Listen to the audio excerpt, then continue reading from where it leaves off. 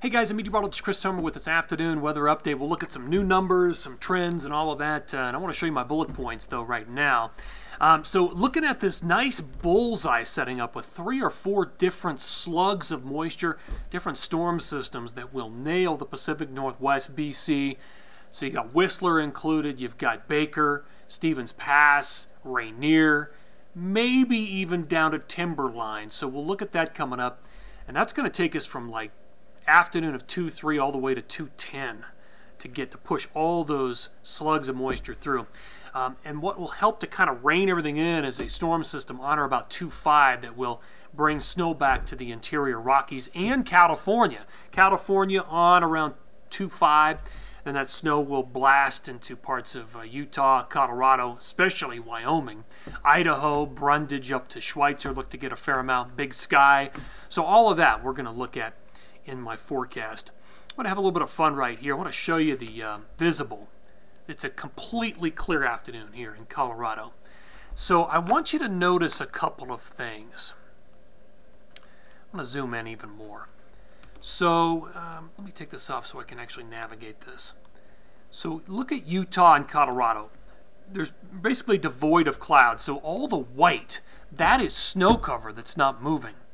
Visible satellite like an eyeball looking down from space. This is what you would see with your own eyes if you were looking down from space. look at Colorado. Look at all of the snow cover. This is all snow over Denver, the Front Range, and the Eastern Plains. So that's snow.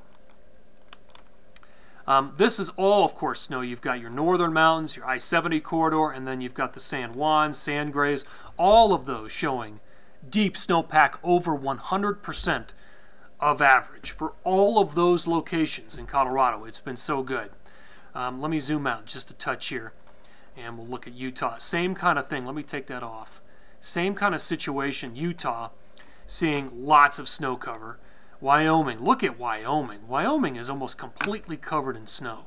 it's incredible. And of course, you can know the, the big atmospheric river just pounded the Sierra. I mean, look at all the snow. We're starting to see some high clouds spread in, but let me just mark this so you can see it. There's Tahoe, and you've got all of the snow all the way from Tahoe and Shasta down to Mammoth. And we've got a little bit more in the forecast. It's not going to be an atmospheric river for the west for the west coast, but some very heavy moisture in the forecast. I wrote about it this morning on my blog, christomer.com. Pacific Northwest bullseye snow forecast through 210. Um, I put a special feature on here, season to date snow. Brighton and Alta snowbird at the top of the list, all over 400 inches, all at about 440 to 475, somewhere in there. Um, so doing really well in the Wasatch. Mammoth at 385, Kirkwood, Palisade, all there. Jackson Hole's at 317. But what's interesting is Steamboat is right there with Jackson Hole, both at about 315. That's really something. Steamboat has the most snow of any resort in Colorado right now at 312. Uh, who else we got? Vails at 236. Um, Aspen Highlands at 252 um, according to AspenWeather.net, my good friends over there. Ryan and Corey operate that. If you haven't uh, looked at it, check it out. It's uh, Aspen Weather. They have an app that you can download, and you can see cumulative snowfall for the area.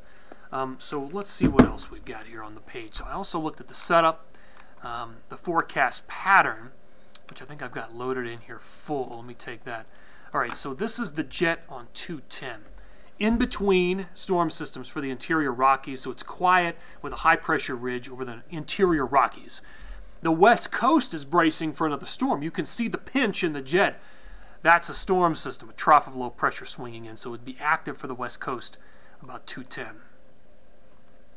All right, let's look at the forecast. Um, oh, I didn't put it in today. I'll have to catch that later. But let's go into forecast totals. Those are my numbers for this from this morning on the page. Let me show you my numbers for this afternoon. And I've got two specialty maps, so hang on for those.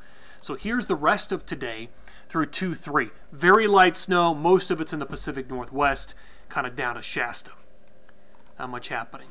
All right, here's the second period, 2-4 through 2-10. Big snow, 1 to 2 feet for the Sierra. Uh, it's on or about 2-5 with that storm system coming in, 2-5. And then maybe another storm system around 210. 6 to 8 for the Wasatch, anywhere from 6 to 10 for Colorado. Uh, about 2 feet for the, uh, the Tetons. I like what I'm seeing there. Big Sky, Brundage up to Schweitzer. Looks good, 8 to 12 for those areas. There will be some blow off into Revelstoke. I've got 10 there for the period, but the, obviously the big numbers are at Baker, Whistler, Rainier, Stevens, down to Timberline. Um, you're looking at uh, one, two, three, maybe four feet of snow during that period.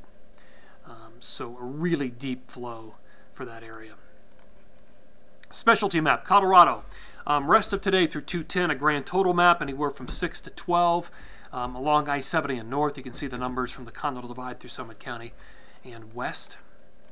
Second specialty map, for the Pacific Northwest, these would be grand totals 2 2 1 the rest of today through 210. But remember, most of the snow here falls 2 3 late in the day, 2 3 through about 210.